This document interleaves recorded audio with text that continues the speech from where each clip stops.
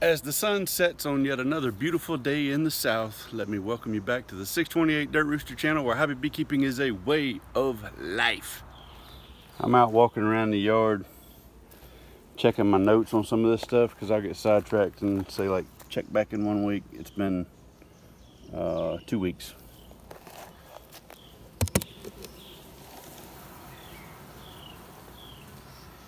And I got a frame stuck to the lid, but it's full of frames. And I know they got a layer in there. I'm fairly certain of it. I'm pretty sure 510 virgin question mark. They're hauling in piling. Check it tomorrow when I got a little more time. Listen over here on 510 I put a virgin in. I gotta go check, make sure she's laying. Black queen. This one is a queen I got from a cutout. She's jet black and I've decided I want to keep her. There's her offspring right there. For comparison's sake, I'll move over to here and you can see the offspring of a straight Italian. I don't know what she is, but she was pretty, so I decided I'm gonna keep her. And uh, yeah, she's mine aside from that, what I'm doing out here is I quickly want to show you a couple of tools that uh, I, I, use quite regularly, and those would be flashlights. Now I use flashlights on 99, 95, 90, let's, let's go to 90. 90% of the cutouts that I do. This is a Wowtac A5. This is the one I've been using recently. This is the cool white. And I've got the bright white here. I'll show you quickly how it's packaged warning thing, charging cable, lanyard. This is the bright white. This one hasn't been used yet. I gotta, okay, there it is. 3,650 lumen, boy. 3,650. Now I've been using the cool white over the bright white. To me, the cool white makes gives things a more natural look at night. Uh, if there's anything natural about a flashlight. I want to tell you, uh, 3650 advertised lumens comes with a battery. This, for comparison's sake, I won't show you the brand, but this is 4,000 lumen, and that's what you got to go to to get 4,000 lumens. 3650 lumens in this little small package. Plus the mode's really easy. I've got mine set on low when it comes on. You just hold the button down for medium and high, it's 3600. Uh, off, when you turn it back on, it's back on the high setting unless you leave it on the low setting or the medium before you turn it off. If you just hold the switch down, it comes on to a two lumen. Probably ain't even showing up in the camera, but it's a like a one or two lumen brightness, which is really nice from any setting, from on any setting to whether it's on or off. If you double click, it automatically goes to the highest setting. Now I use it midday quite a lot. See, full frame foundation that's ready in one week. It was on the 10th. I don't like selling foundationless equipment, so this thing's still sitting here. I need to go through it and look, make sure we got a laying queen in there. This is on low, and we're still an hour from sunset. It's pretty bright out here. But I can go through and much more easily spot eggs with a flashlight. And this one here, I'm probably gonna have to move it up. I bet you it's honey bound right now. I just got this on here to keep the heat off of it from the sun a little bit. Same with the old foundations, keep the sun off of it a little bit. That's why those pallets are leaned up against that one over there. And then this one, let's give it a helping hand right here. Keep sun off the top of that one. The link for the Wowtac A5 will be in the description below. Go check it out if you need a good light. This will be my, this is my third and fourth from this manufacturer. Outstanding lights. And uh, I lost one of them. So I was glad to get these two new ones. I lost one of my good ones similar to this. I framed it up in somebody's house. Sucks to lose it like that. It was two weeks before I realized where I, where I left it. Got some new ones though, and I like them. It's four o'clock on a Sunday afternoon. It's threatening rain. Been storms in the forecast all day. Ain't got nothing else to do. Let's go do a cutout. Look at here, I got busy and forgot to record anything. And thankfully they're close to the ground. I'm standing on the ground flat-footed and can grab the edge of the roof, so it's pretty low. No ladder required. I'm getting heat signature all through over here, maybe in here a little bit too. I can't really tell. I think I think probably right here is where it's going to end, but it looks like it goes down that way a little ways. I'm just stripping out the second layer of soffit. About to get started cutting that plywood out. I got to go down here and make a slice and then up to here, and then all that's ready to pry out. And it's not doesn't look like it's dadoed into the fascia board. So all that ought to swing down pretty easy. Little backyard. Got a couple little kids and it's a really super active hive. They ain't not even bumping me yet though. I've been all up under them. So hopefully they're gonna be nice. We've had rough weather all day and it's it's cleared up all of a sudden. I'm thankful for that man because I got in some hives this morning in my house. Took a few in the belly meat. Man.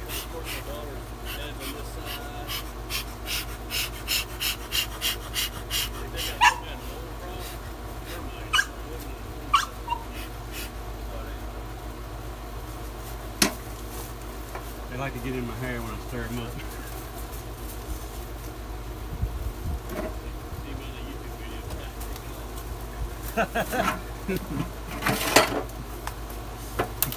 Where's he going? He's looking for a safe place.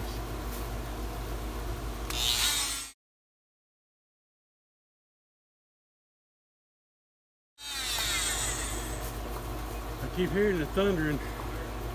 It was clear. It was clear skies five minutes ago, and now it's booming. Feel like it's heading this way.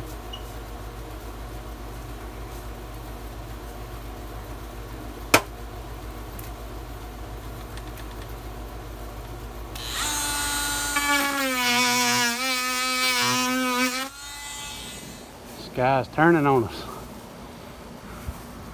I don't know if we're gonna make it for the full cutout today, but we're gonna sure open it up and see what we got. Heading right to us.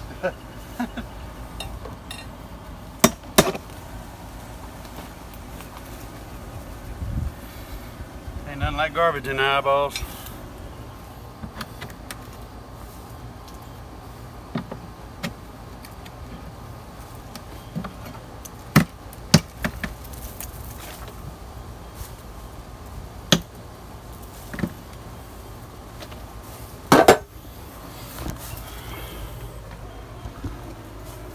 Before I pull this all the way down. Okay, we're right here at it.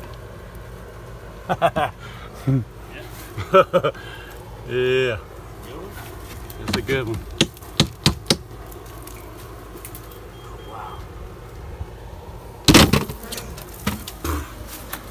Yeah, I didn't mean to pull that hard on it. oh yeah. She's a big one. Hey, look, little fella. You better go to the other side of the yard.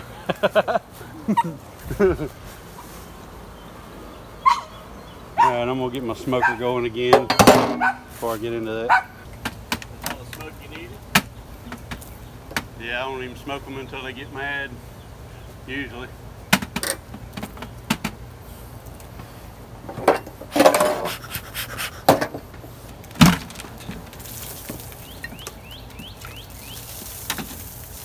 See it?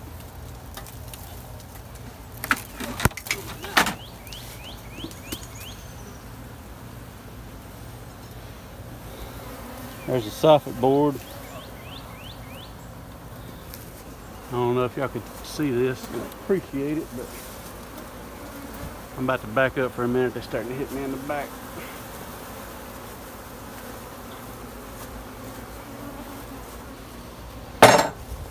I'll bring out a flashlight to show y'all because the light on the camera ain't doing it.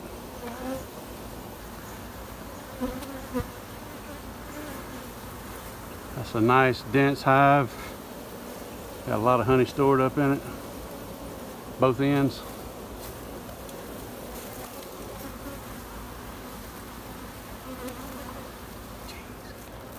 Get on in there, man. Yeah.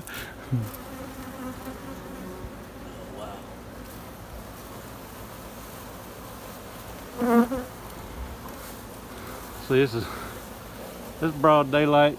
Sometimes you need a flashlight on these things, and it's best to have a good one.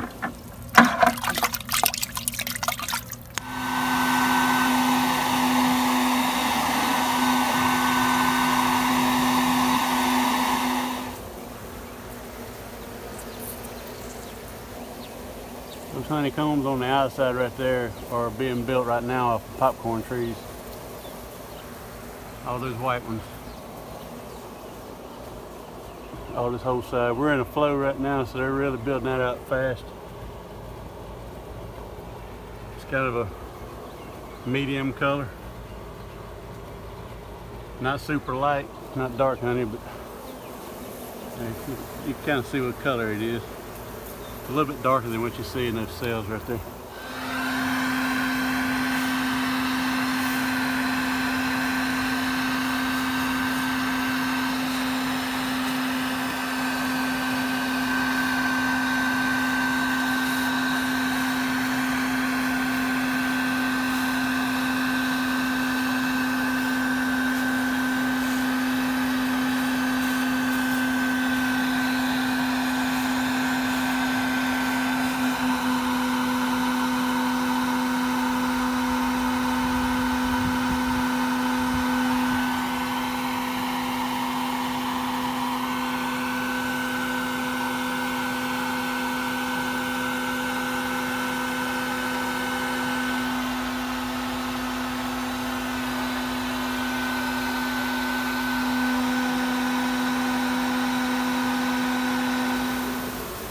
Two combs out and the honey shower begins.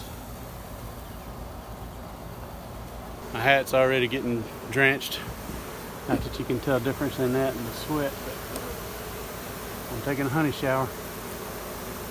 That's why my hair is so smooth and shiny. Yappy's so jealous, but he don't take a whole lot of honey showers like I do. If he did, his hair would be nice and full. But Yappy, if you go on my website, you can buy some of this honey and, and uh, do it up, you know. Maybe not so much this honey because this is going to the homeowner. And I don't know if I'll keep any of this other than to feed back. Just don't have a whole lot of time to fool with it. It's time consuming to crush and strain and bottle honey. It's easier just to take from what you extract out of a managed colony. This is really, if you're paying a premium for somebody that's crushing and straining, there's a reason for it. It's not because the honey's all that much better, but there's a whole lot more involved, a whole lot more labor involved per bottle to crush and strain than there is to just extract off of drawn frames. In bulk, I mean, you know, extracting one frame or crushing and straining just a little bit of honey is not much difference, but when you're extracting a bulk amount to get a batch of honey, crushing and straining is not what you want to be doing. Unless you get it for free and then strain your little heart out.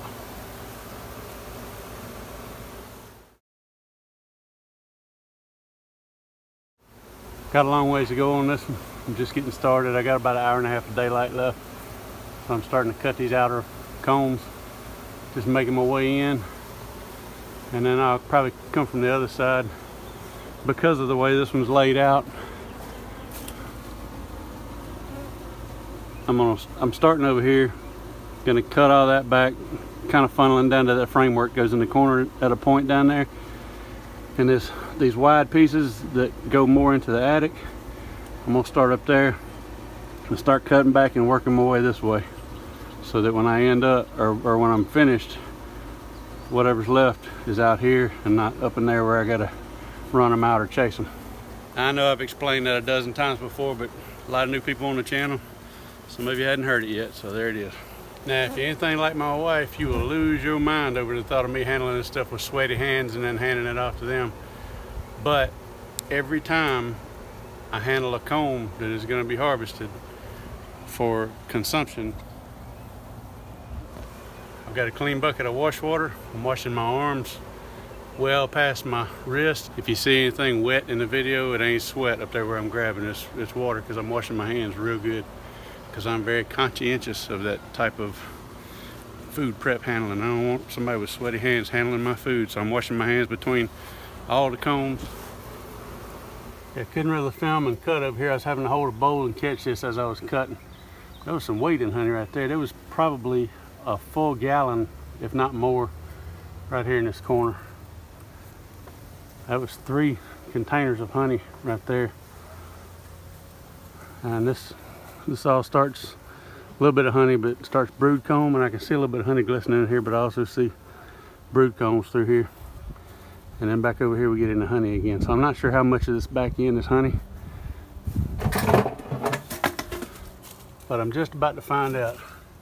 I'm gonna start by vacuuming back up in here and then cutting all these all these little, little small pieces out.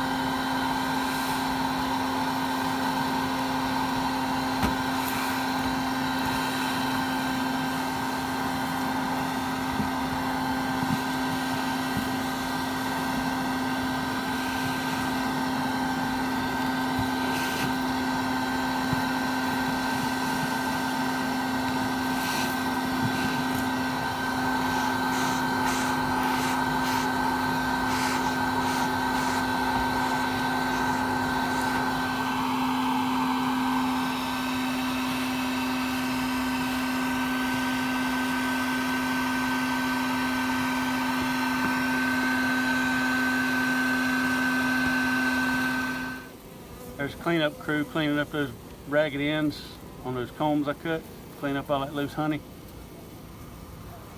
I usually let them clean that up. I don't vac a whole lot when they're doing that. I vac from the other end. But I'll leave down here, I'll leave them working. Less mess on me. Gotta go get some more bags for the brood. I'm about two thirds of the way through. Probably gonna be finishing this one up in the dark. I'll have the hive out before dark, but I gotta put all this soffit back. Everything's wet, man. It's a pain to work in like that.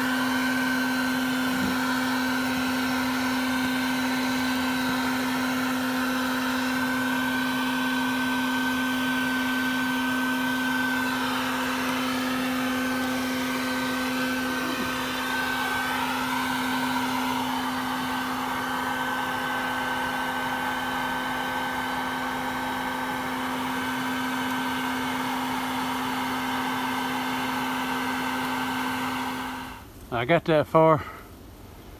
It's starting to lightning and thunder. And some big old raindrops coming down. I'm gonna leave that here tonight. That'll give a lot of this honey time to drip out. So it's not raining on me tomorrow. I'll come back tomorrow and snag those in the morning. And I got them all over the wall, all over the ground.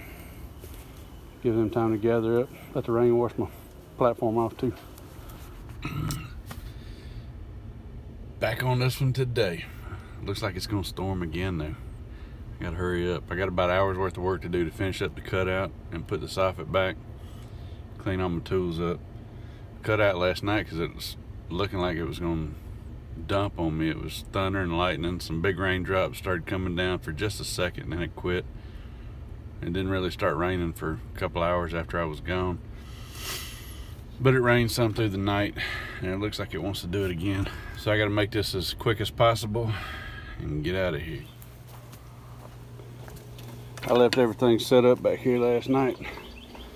and feel like loading up and resetting up. So anything that wouldn't get hurt in the weather stayed.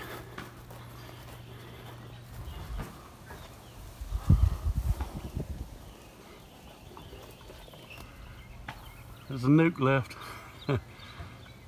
Yeah, that's about what it is.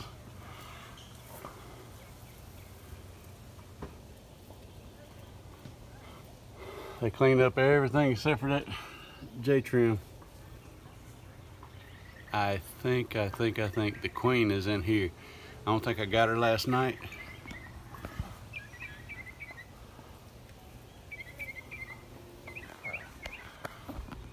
It's possible I did, but I don't think I did. And boy, talk about dehydration.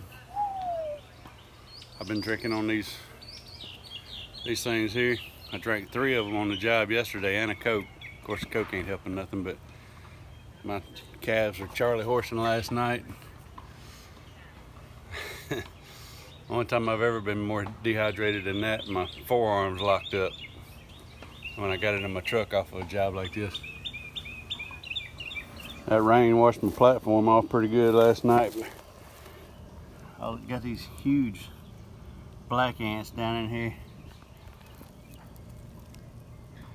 because all the honey that's running down in the ground.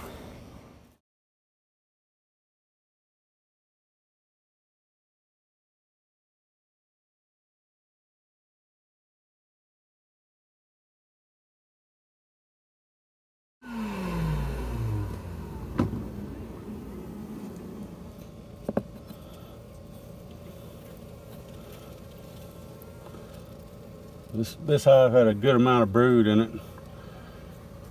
And this hunt there's too much honey to try to frame all of it. So you can see there's brood right here. Good amount of honey here. I can frame this up. There's plenty for them to get started. I don't need to frame up all that cap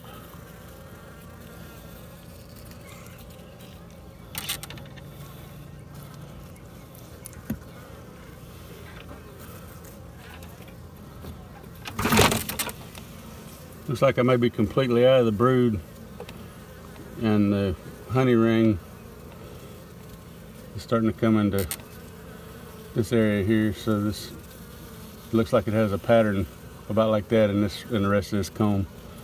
There's some good bee bread with pollen and good stuff in it.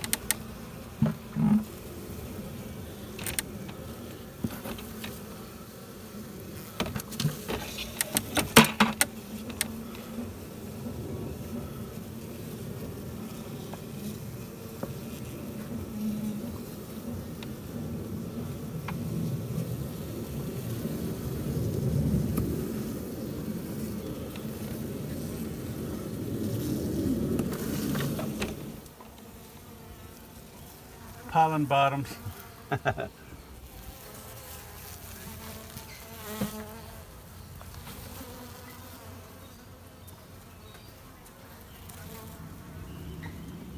oh, keep bumping my camera.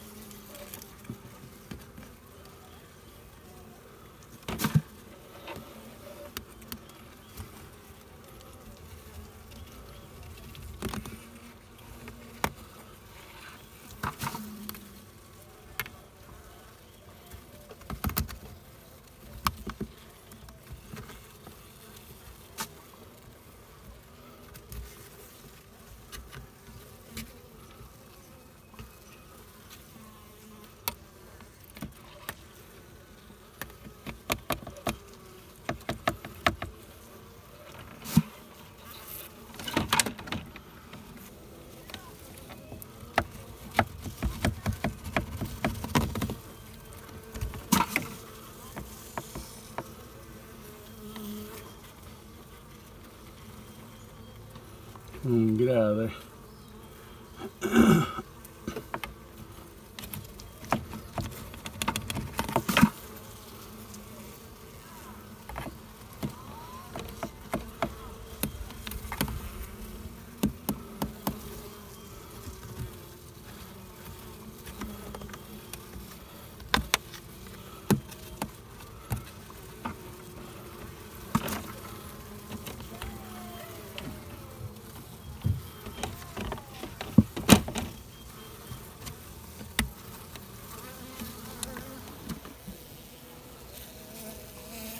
Got a whole bunch of drones and this stuff. I may have got the queen last night.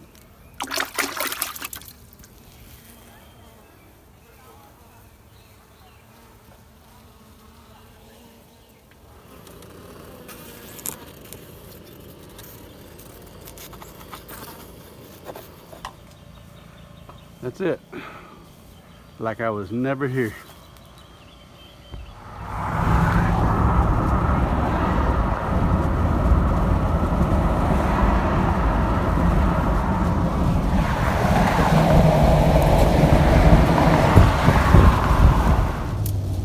And I just beat the rain.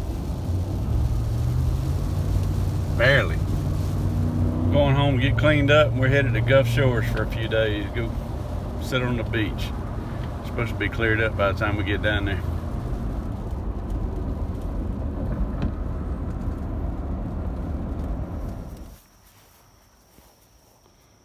Need me to light the way for you?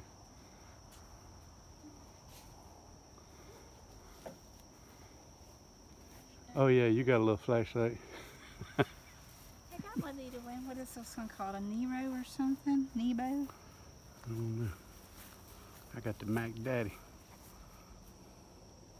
Well, if you were carrying the little one, that would be surprising.